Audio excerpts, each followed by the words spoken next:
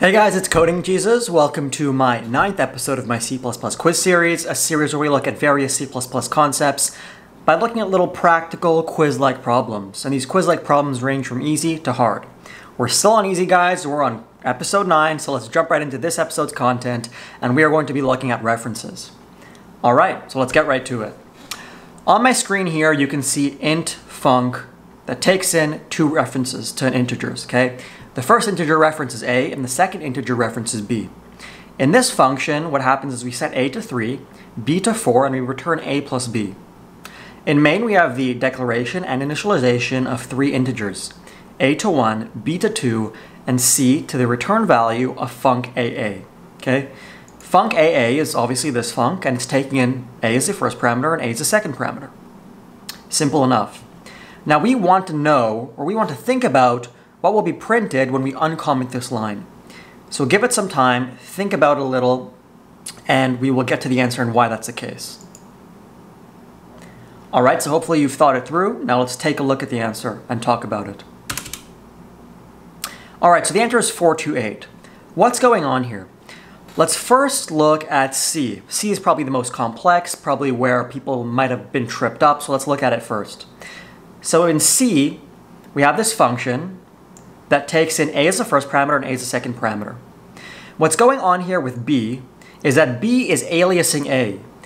An alias is a, another variable with a different name that points to the same memory address as the variable that it is pointing to or that it's referring to. So b here is still referring to a even though it has a deceptive name of b that's similar to the b that we have here. Okay, so we're referring to a here. So both of these are a.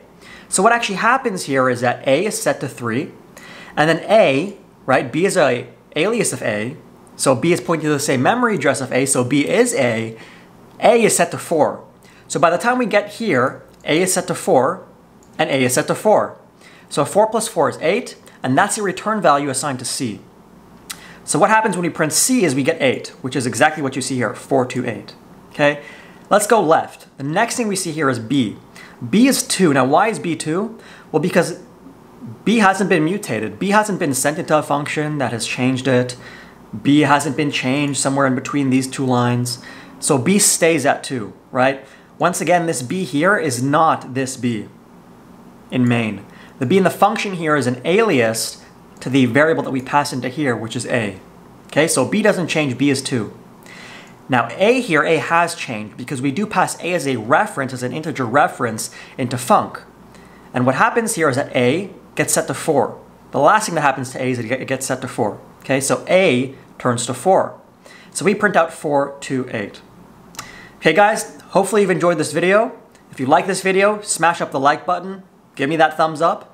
Comment in the comment section below what you liked about it, if you have any more questions, what you'd like to see next and maybe in a potential episode, and subscribe guys. I hope you learn a lot in these series. I hope that they teach you more than you might potentially learn in some university classes, and I hope you don't mind my lighting here. You're not here for the lighting, you're here for the code. Once again guys, thanks for watching. Cheers.